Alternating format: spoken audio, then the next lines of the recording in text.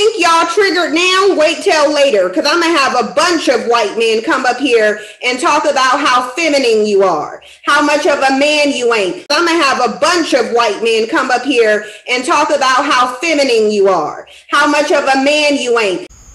She had a broadcast and there was a white man on there that she brought on. She brought a Zaddy on, and I think my name came. I didn't hear it. I didn't. I'm gonna be honest. I didn't listen to it. I just kept hearing the cliff notes from different people. So the the the white zaddy was kind of disparaging black men throughout the whole thing, from what I understand, and she was sitting there agreeing with him.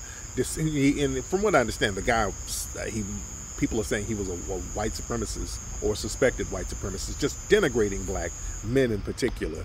And she was sitting there co-signing um, this white man, and I heard my name came up, and I don't know what the context was, but I'm pretty sure it was something negative. But the fact that she still her and Zaddy are mentioning me. Um, you know, of course Zaddy is going to be mad. You know, I got the number one documentary film going in on white supremacist culture, so of course they're going to be mad. There's a lot of white supremacists mad. But when you have these bedwench mammies sitting up here co-signing them, and now Cynthia, from what I understand, but she is took she she took a deep turn with the anti-black male hatred. I mean, she's going in on black males lately. I mean, she sounds like, you know, Stephen from Django with a weave. Oh yeah, Cynthia's a pathological liar. I don't really take, you can't take anything she says seriously. We don't really discuss her in a serious discourse. We don't really discuss her in a serious discourse. We don't really discuss her in a serious discourse. Let me play this video, ladies and gentlemen. Just a little snippet of it, and this kind of got her a little upset. Okay, so this is Cynthia. Cynthia, um, this is we made a little dedication to you, Cynthia. Hold on. Oh,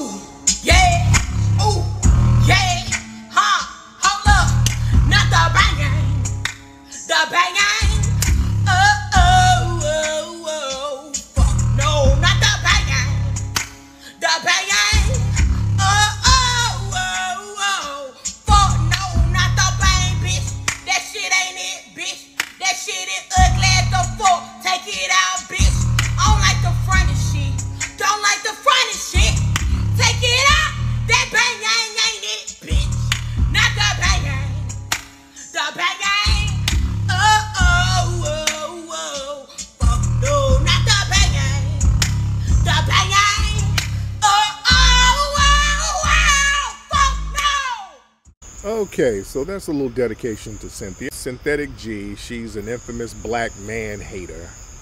This woman despises black men. This woman hates black men with a passion. She makes videos about black men all the time. Cynthia is making all of these anti-black male videos. Conquered men, black men are dusty beta males and all this old shit. And y'all her she's getting with all of the, the, the divest bedwenches, sitting up talking about how great Zaddy is and we I played videos of you admitting that you lay it with white men and you kick it with white dudes and all that because you are a little little funky bedwench. But listen, synthetic G, if white Zaddy is raising your value up so much, why are you broadcasting from a rent controlled studio apartment up there in Seattle? You got that little bitty ass funky studio apartment up there in Seattle, little rent control apartment with secondhand IKEA furniture. Where's Zaddy? I thought Zaddy was doing all these great things. How come Zaddy has not gotten you out of that that little struggle studio apartment that you live in? That's a very small apartment, Cynthia. That apartment looked like it smelled like singed hot comb smoke. It's a very small apartment, Cynthia. And Zaddy has not raised you up out of there. Why is that? I thought Zaddy did so many magical things, dear. What's going on? that little bitty ass apartment. I don't even think that shit has a kitchen. She has an electric hot plate and a George Foreman grill, and she used the George Foreman grill to heat up her hot comb. My God. Uh, you, the struggle is real, Synthetic G. I mean, I thought Zaddy was supposed to be doing all these great things, and the black man is the dusty beta male. now, at one point, I gave Cynthia money for a new Bayang. I gave her some money for a new Bayang. I know you're listening, Cynthia. I PayPal'd her. I PayPal'd her $100. I told her, look, step your game up, at least get you a new Bayang. And I PayPal her $100 and she shamelessly took that $100. But instead of upgrading her Bayang, her ignorant ass went and got a matching synthetic ponytail to go with the fucking Bayang. Like, god damn, this is a raggedy bitch. I know the struggle is real, Cynthia. Yeah. oh, I know it's real. Cynthia, you're walking around, you still got that mortuary makeup on, looking like a dead hoe from the 1800s who got reanimated and brought back to life. You're a century old hoe who died after the Civil War. you got killed in the Civil War and they brought your ass back to life. Was working at a whole house in the 1800s and got hit by a stray bullet during the Civil War. And she got on the same mortuary makeup. but Cynthia, look, at least Cynthia, with your fucked up bayang, at least branded. You should, Cynthia, what you should do, because I'm a very good person at marketing. I'm very good at marketing, Cynthia. What you can do, since your bayangs are clearly attached to those headbands you wear, you should come out with um, your own headband bayang. Call it um, Bayang go bye bye. So people who cannot, if you don't have time to put a lace front on, put on a Bayang go bye bye and just go on about your business. Just throw that shit on and go on about your damn business. I mean, market your shit. I mean, look, be creative. Your lace fronts and your bayangs are clearly attached to them headbands. And if I were you, I would market that. Use that as a marketing strategy. That's a new thing. Just own up to it. Like, look, Bayang go bye byes for the women on the go. That's what you need to do. No edges needed. We can do infomercials. Tired of fixing your hair to go to work in the morning? Get Bayang go bye bye. Just strap it on with the headband and leave the house. Thanks, Bayang go bye bye again, I, I, sent her money to get a new Bayang. And I'm like, next time I just buy her a Bayang. I just have to buy it. But the problem is she keeps changing her hair color and it's hard to find Bayangs in the color she chooses. I think she has some kind of hookup overseas. She has all types of colors that Bayang colors that's not even out over here yet. She has honey mustard Bayang, dirty auburn Bayang.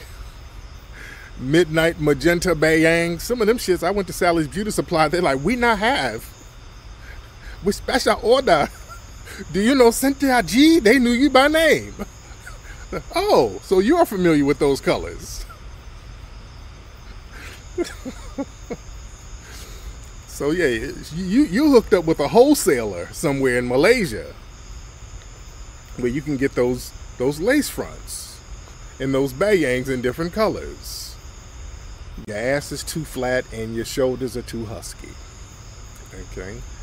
You built like a transgender weightlifter. I can't get with you. You look like you're about to lift weights for the damn Olympics. You're gonna be lifting weights for Kenya or Ghana. You're gonna be lifting weight for Africa somewhere. You're gonna have on a kente cloth headband with your bayang strapped to the kente cloth. I'm cool. I'm cool. I'm cool. I'm cool. I'm not trying to get with you, Cynthia, because again, I don't want to hit that and that wig come off. We, I don't know what type of patches of hair you got under that damn wig. I know if your wig fall off, your scalp probably looks like kangaroo fur.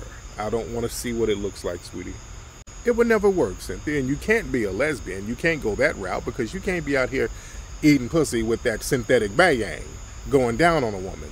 You do that, you're going to fuck around and give somebody a urinary tract infection with them synthetic strands on your bayang. You can't do that, dear. You just will not get rid of that goddamn bayang. You had that bayang for 30 years. I think I saw some school pictures of Cynthia G with that same fucking bayang in the fifth grade.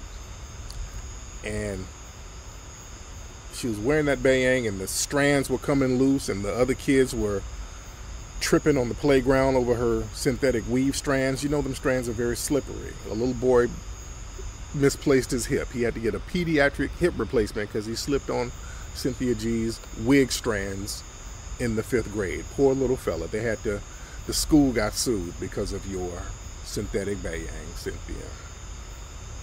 You understand? But Cynthia, I will not get with you, Cynthia. You keep. I'm not going. to I'm not going to keep mentioning Cynthia. I'm not going to keep mentioning Cynthia. I'm not going to mention you, Cynthia. I'm just saying this, you know, because I, I heard you and Zaddy was talking crap.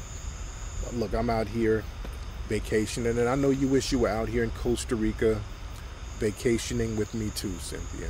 I know you wish you were here, but that that would never work, Cynthia. Even if I even if I wanted you my, as my side piece, I couldn't bring you out here to Costa Rica.